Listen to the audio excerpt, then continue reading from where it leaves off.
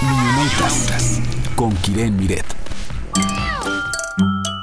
México está pasando por uno de los momentos más complicados de su historia y estamos seguros de que entiendes más o menos lo que está sucediendo.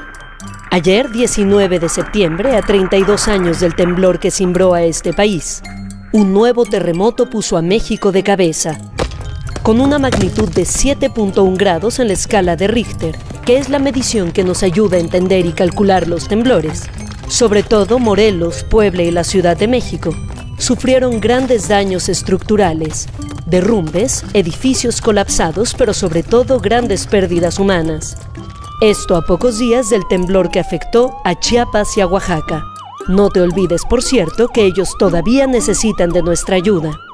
Si te asomas por la ventana o prendes la televisión, la radio o entras a internet para ver las noticias, notarás que hay mucha gente en la calle ayudando, pues hacen falta montones de manos para remover escombros, tierras, vigas y todos los restos de casas y edificios que se cayeron con el temblor. Si no sabes muy bien qué hacer y quieres ayudar, aquí te van algunos consejos. ¿Tienes lámparas, palas o baterías? ¿Hay en el botiquín de tu casa medicamentos que crees que puedan ser útiles? ¿Eres bueno preparando tortas o sándwiches? Habla con tu familia y sobre todo busquen organizarse bien para entender quién necesita la ayuda y así hacerla llegar a los lugares afectados para que los rescatistas y gente a cargo de cada uno de estos sitios donde hubo daños pueda comer, tomar agua y dar servicios de primeros auxilios a las personas que han sido rescatadas o que serán rescatadas en las próximas horas.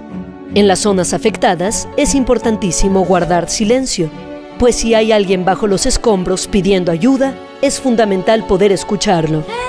Es muy importante poder actuar rápido, pues las primeras horas tras un temblor son fundamentales. La Tierra está viva y se mueve con frecuencia. Las placas tectónicas se acomodan cada tanto, pues el planeta no es una gran masa de tierra toda junta, sino que hay grandes espacios entre cada uno de los continentes que se reacomodan todos los días, a veces más suave y a veces más fuerte. Seguirá habiendo temblores, lo sabemos, pero cuanto más preparados estemos, mejor podremos afrontarlos. Ánimo niñonautas, que es momento de ayudar. Que el miedo no nos detenga, sino que nos haga caminar hacia adelante.